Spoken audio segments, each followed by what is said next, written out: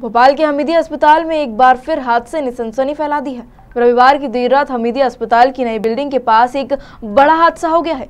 दरअसल यही खड़े हुए एक ट्रक को अनियंत्रित दूसरे ट्रक ने टक्कर मार दी। इससे खड़े ट्रक के नीचे सो रहे सुरजित नाम के व्यक्ति की मौत हो गई और तीन अन्य घायल हो गए।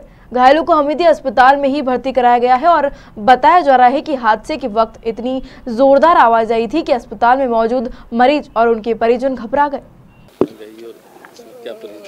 हाँ जो कंस्ट्रक्शन कंपनी है उसका काम चल रहा है हमीदिया में और उसी में आरजे नंबर का एक ट्रक था, जिसके ब्रेक फेल हुए और वो जाकर के ये गुजरात नंबर के ट्रक पर टकराया था और लोडेड ट्रक था।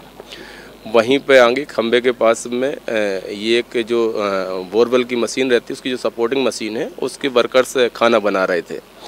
तो वो उसकी चपेट में आ गए। उसमें से दो लोगों की अकस्मात मृत्यु हो गई है। उसमें से एक अनिल है दूसरे सुरजीत है और एक इलाजरत है। प्रकरण में तत्काल में मर कायम करके और अपराध पंजीबद्ध कर लिया गया है तीन सौ चार और बाकी सारे साख जुटाए जा रहे हैं। जो भी सम्मत कार्रवाई होगी वो की जाएगी। ये जो ट्रक ड्राइवर है और उसी के खिलाफ मामला पंजीबद्ध किया गया। इसमें एक ही घायल है जिसकी अभी हालत भी ठीक है। बाकी दो लोग कोलेप्स कर गए हैं।